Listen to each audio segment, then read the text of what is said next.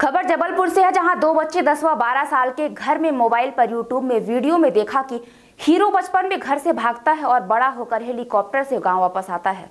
ये दृश्य 10 और 12 साल के दो बच्चों के दिमाग में ऐसा बैठा कि वे अपने घर से भाग खड़े हुए और भोपाल पहुँच गए। यहाँ जब ज़िंदगी के धरातल की समझ उन तक आई तो पेट भरने में वे होटल में काम करने लगे। भोपाल पुलिस ने इन दोनों बच्चों को दस्तयाब कर जबलपुर उनके परिजनों को सौंप दिया है। मामला जबलपुर के मझगवा का है। ये दोनों बच्चे कुछ दिन पहले अपने गाँव से गायब हुए थे।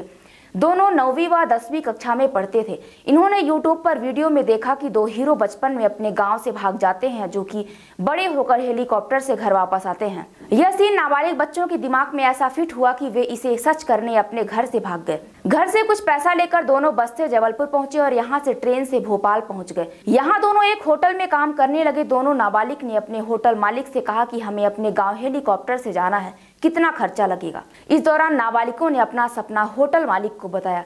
नाबालिगों के इस सवाल पर होटल मालिक के होश उड़ गए और किसरे किशोरों से पता पूछकर उनके परिजनों से संपर्क किया। इसके बाद पूरे मामले का खुलासा हुआ। होटल मालिक से मिली जानकारी के बाद दोनों किशोरों के परिजनों ने पुलिस से संपर्क किया। पुलिस ने होटल मालिक से संपर्क कर कहा कि वह तत्काल दोनों बच्चों को परिजनों के हवाले कर दे, अन्यथा उसके खिलाफ बड़ी कार्यवाही की जाएगी। पुलिस की समझाइश के बाद होटल मालिक ने दोनों बच्चों को पुलिस के हवाले कर दिया, जिसके बाद पुलिस ने उनके परिजनों तक उन्हें पहुँचा दिया।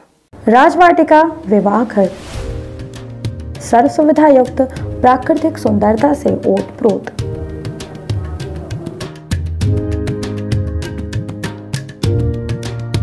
राजवाटिका विवाह घर में इंगेजमेंट तिलक, शादी रिसेप्शन वेडिंग शूट जन्मदिन पार्टी जन्माशा सहित अन्य कार्यक्रमों के लिए विवाह घर उपलब्ध। अपने मांगलिक कार्यक्रमों को यादगार बनाएँ शहर के मध्य वातानुकूलित राजवाटिका मैरिज गार्डन के साथ। हमारा पता है, Rajwatika marriage garden, national highway Jula मोड़, भुंडहा, रीवा। अधिक जानकारी के लिए संपर्क करें nine eight two seven zero zero four two five one.